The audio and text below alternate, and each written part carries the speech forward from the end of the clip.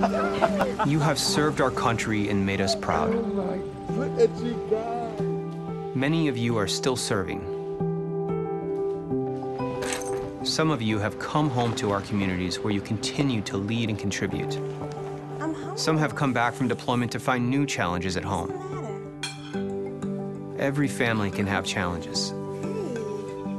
In or out of uniform, we need you to continue to serve and help your battle buddies, families, and communities.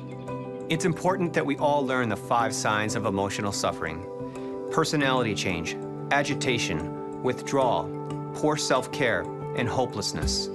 If you or someone you know is experiencing one or more of these signs, reach out and offer to help.